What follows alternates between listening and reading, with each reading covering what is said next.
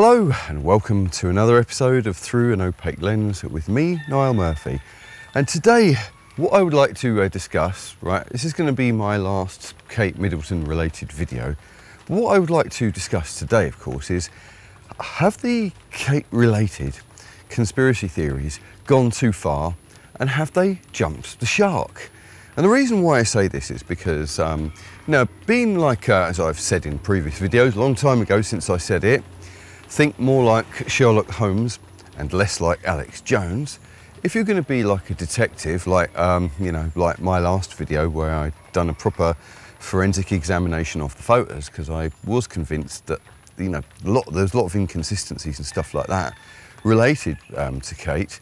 Um, then out comes a video and uh, it's Kate basically announcing that she's um, getting treatment for cancer.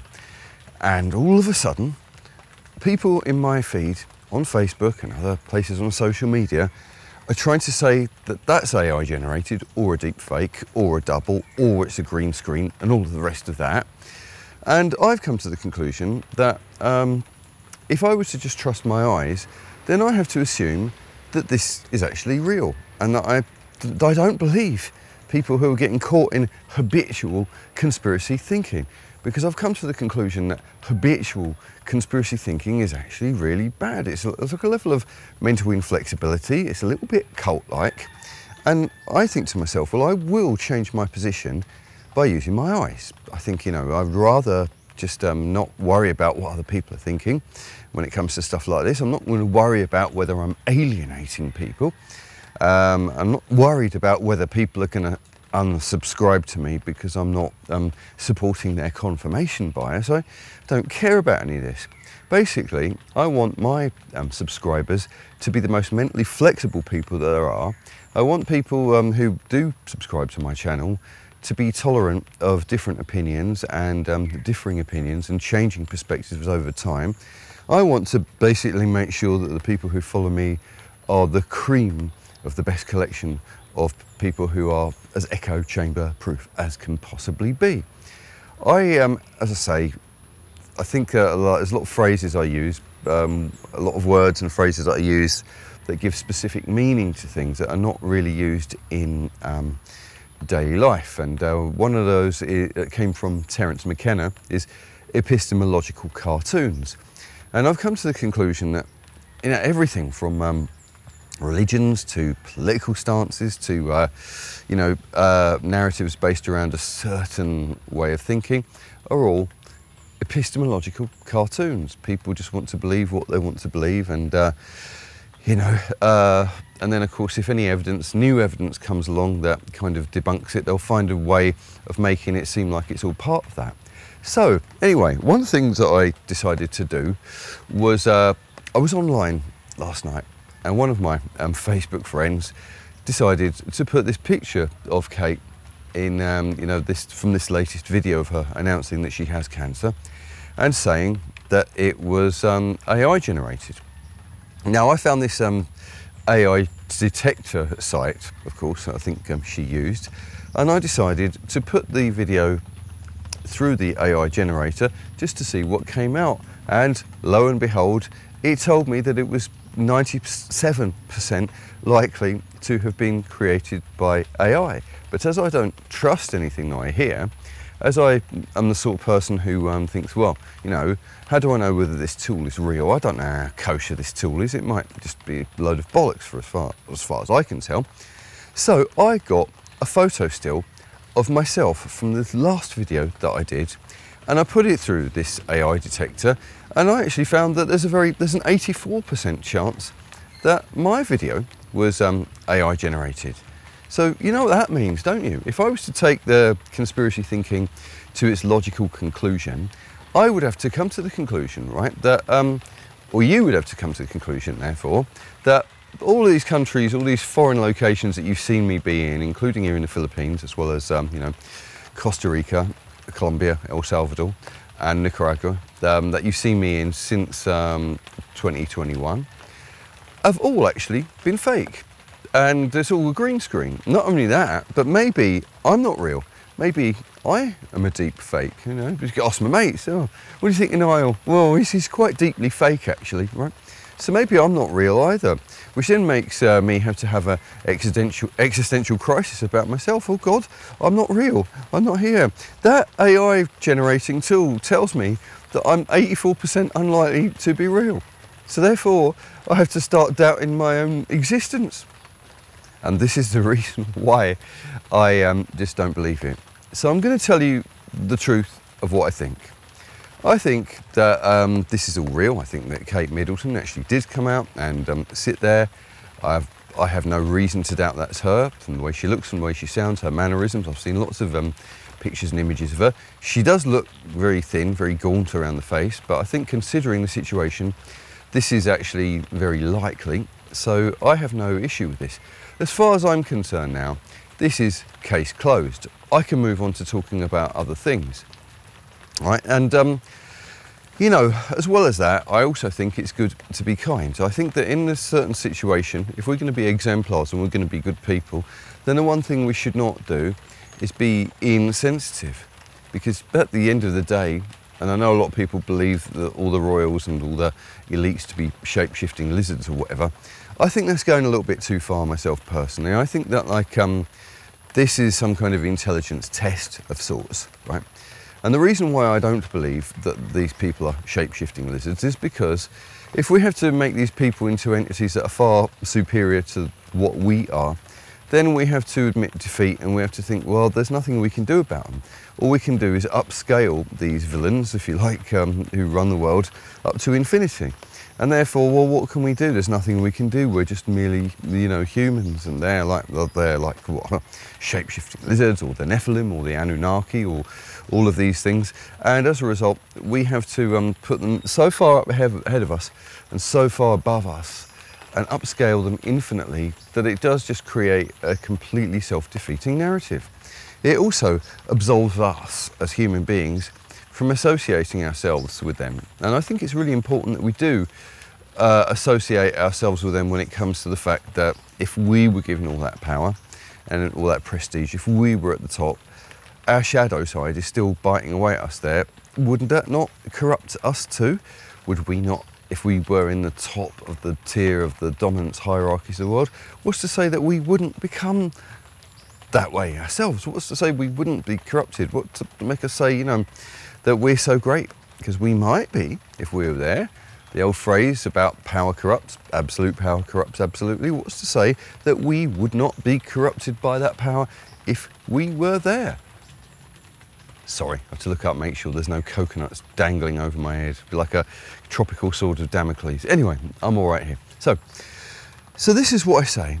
And so, um, you know, when it comes to, as I've said many times before, the mainstream does lie. It lies by omission, it lies by spin doctoring, it lies by being economical with the truth, it lies by reframing everything, and it lies by um, propaganda as well. Um, so we know that.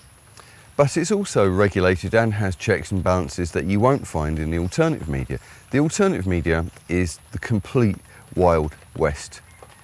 And as a result, both sides and both sources are dubious anyway, right? And so what makes you think that just because the mainstream media is misleading you, that the alternative media won't mislead you? Also, if the alternative media itself is um, so unregulated and so much like the Wild West, what's to stop people who are involved in propaganda, spying, nudging, and all of that lot, uh, coming in and taking over the alternative media sphere and space? They have a lot of money, they have a lot of resources, they know how to do it. And as we can't trust that half of um, the people we're interacting with or commenting are real anyway, we don't know there might be bots, there might be sock puppet accounts, it might be chat GPT writing a lot of um, generic phrases that are there to bolster uh, the mainstream narrative. We just don't know, do we? We don't know at all. So I've come to the conclusion that what happened was a lot of people were asking, where is she? Um, and then, of course, on one side, we've got a lot of the kind of people who are, you know, the, the easily triggered, sensitive people who've been crying on her behalf, go, um, going on about how she's been bullied and mm, stop bullying her. The thing is, right, that, you know, we wouldn't wish this on anyone. I've had, um, you know, I knew someone actually who uh, died of cancer aged not much older than Kate is now, to be honest, right? So that's the thing, um, and it's been quite a prevalent thing. Lost my mum to cancer. I'm not sure that I lost my dad to cancer. I know he was in the early stages, but I think the symptoms that he um, died of were not actually the cancer itself. He had a lot of other health problems as well, you know, obesity related health problems.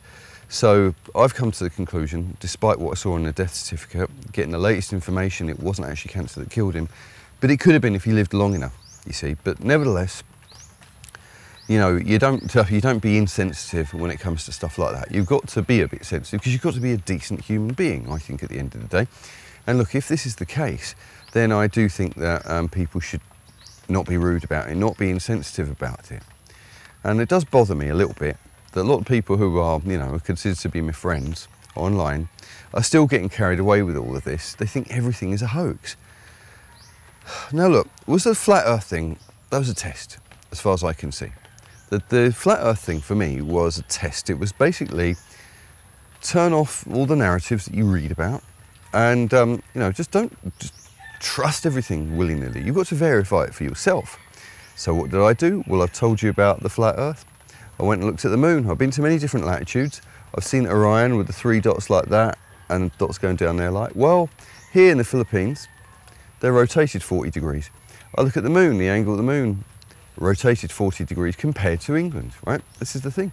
And where I am now, I'm currently about 41 degrees closer to the equator than Devon. If I were to get a, a set square or a protractor or some geometrical instrument and a spirit level, and I was to get the moon lined up at the top of the middle of the sky, I could prove with the geometrical instruments the latitude by just rotating it and then I'll be able to say, right, this is what latitude we're on, and I could do this with scientific instruments, and that convinces me that the flat earthers were wrong. You know, um, so that's the thing. So I'm using my eyes, and um, I'm trying to work out things for myself. I don't think, right, that this new release of Kate is fake. I think this is all the truth. I think she was under pressure to actually make an announcement.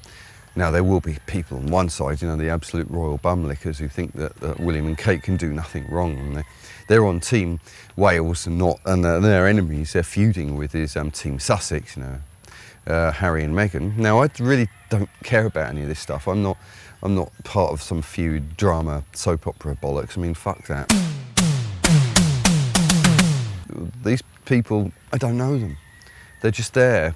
They're just there to fill our heads up with, you know, so we can live vicariously through people who, you know, we think are more important than us. Well, I don't.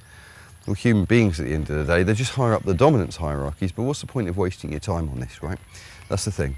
So, regardless of anything, um, how can you bully the next future queen consort, the, the wife of the future king of England, when you're just a lowly peasant? You can't, can you? Really? It doesn't, doesn't count. It's such a stupid thing to say.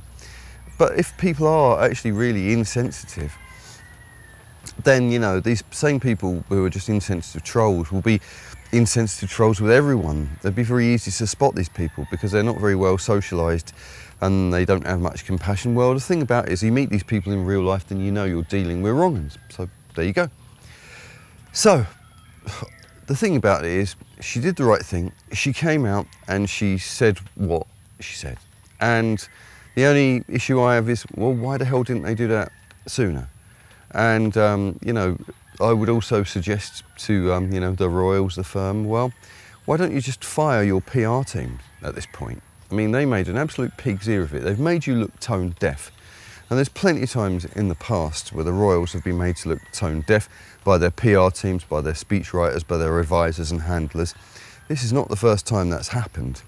So, you know, I would say that if you want to bring yourself properly into the 21st century, the one thing you must do, if you don't want Britain to be a republic, is to bring in a decent PR team who are in touch with and you know um, with the zeitgeist and are in touch with public opinion who are not too remote you know because you hear a lot of times of people who go tourists who go on the on the tour of Buckingham Palace just how rude and how badly treated they are by the staff. you know, and how a lot of the time it's not value for money that the um, that the the royal entourage, the staff who uh, work for the firm, so to speak, are not the nicest people, and they they hate those peasants, right? Maybe not necessarily the royals themselves, but the people who are working in the service of the royals. Um, they have a reputation for being like that, which is a bit, bit sad. So you know, um, it's very important that if they want to stay where they are, they have to make sure that um, they can read the public, they can read the public mood, and uh, that's that really.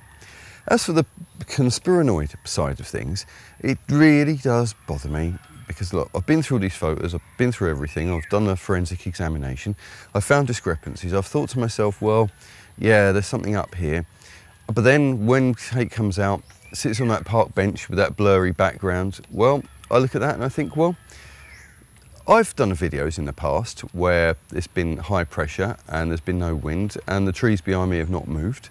I think when that one where I've done the Dimension jump to England, you should look at that video. It's about a year ago from now where I done the split screen and I've done the crap special effects where I jumped from Costa Rica to England. One of the things you will notice is that the picture in England, there's no wind.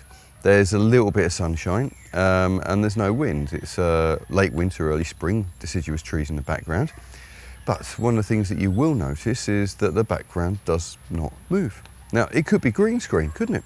You, know, you could say that about me. Well, I took a photo of my last video, put it through this AI uh, detector tool, and it told me I was 84% unreal anyway. So, so there you go.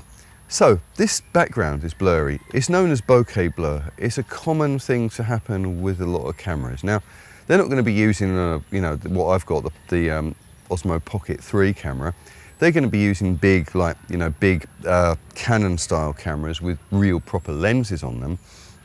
And the bokeh blur, the background, is going to be normal. If it was filmed on a day with high pressure and no wind, well, yeah, there would be things that are, um, there will be things in the background that don't appear to be moving. That's normal. I don't, I don't question that at all. Um, she's in the foreground in very sharp focus, and the park bench that she's sitting on in very sharp focus. Now I can see a few insects flying around. Those little tiny flies are pretty much consistent with what you would find in around about time of spring equinox. Also the trees and the blossoms and the daffodils look like they're at the right time as well. I have no reason to doubt any of this, you see. And I have no reason to doubt anything that she said. Now, of course, it does sound scripted because they're going to do that, aren't they? Yeah? Um, they're not like us in that sense. If they're going to use the media to present themselves, they're going to um, sound scripted. So that is consistent. Also, the fact is that they are going to use some post-production tools on the video to make it look presentable and professional, you see. And there's no, there's no issue with that because that's what they do in the mainstream, right? So that would make the um, AI detector kick off. Uh, you know, because that picture that made me seem 84% unreal, I actually put it through um, iMovie's um, film grain effect and I did actually tweak the colours a little bit. I do it to give it more of an analogue feel. I also do it to my audio as well to make my voice sound more like it was recorded on tape and less like digitally. That's all right, is it not? You know, I do this just basically because it's, you know, I'm old fashioned and I want to have a bit of an old fashioned feel to it. That's all.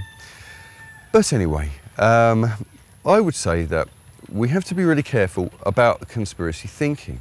Conspiracy thinking, if you take it too much too far to the end degree extreme, is actually really bad for us. You know, it's all right in moderation, a bit like alcohol in that way, but there comes a point where it jumps the shark.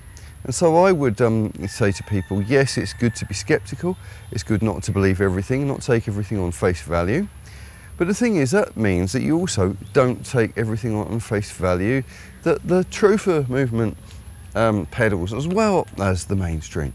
You've got to be able to kind of get somewhere in the middle, get some sort of level of um, unbias, if even possible for us human beings to do, escape your echo chamber.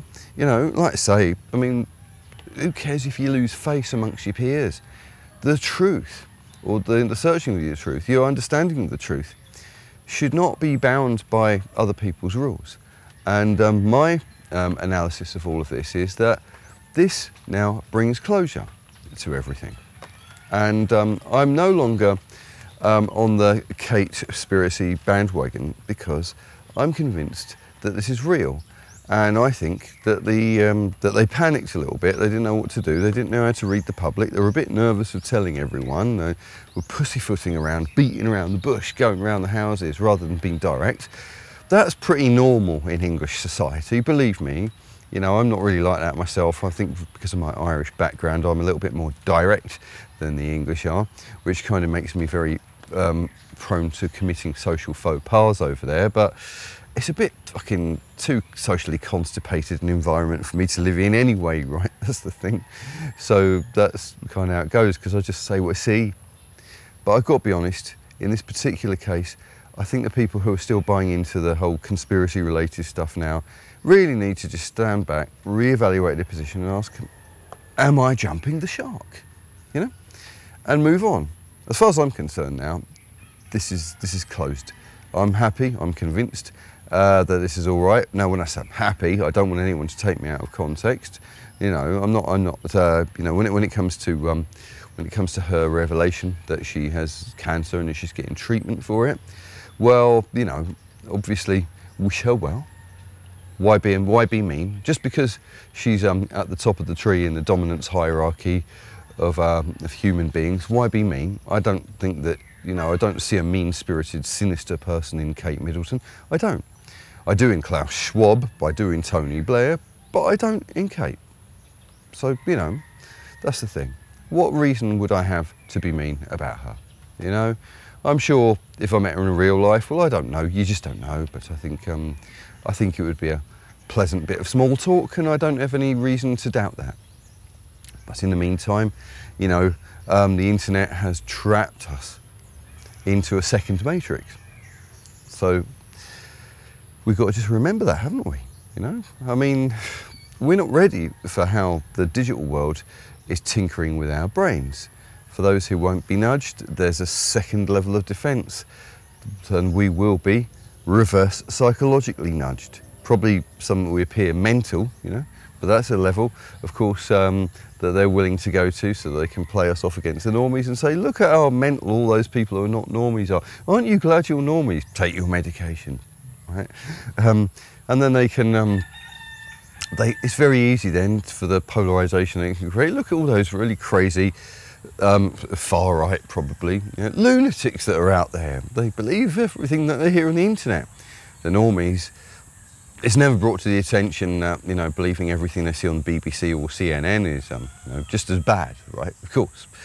But that's how it goes. So um, I think all we've got to do, risk being in a minority of one if that's what you have to do, um, and uh, try and aim to be a true exemplar. And one of the one of the key things for me is um, you know trying to be an exemplar is have common decency and common sense, and you know just enough sensitivity and kindness as well when you need it, and a bit of ruthlessness when you need that too. But it's got to be balanced, doesn't it? Right. Well, I hope um, that was food for thought.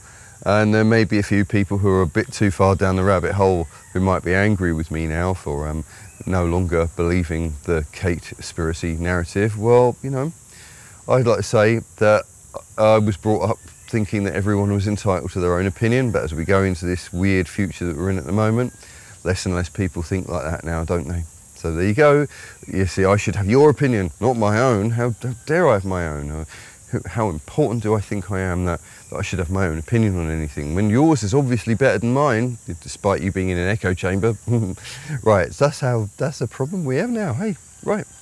I shall leave it at that. See you later, alligator. See you soon, baboon.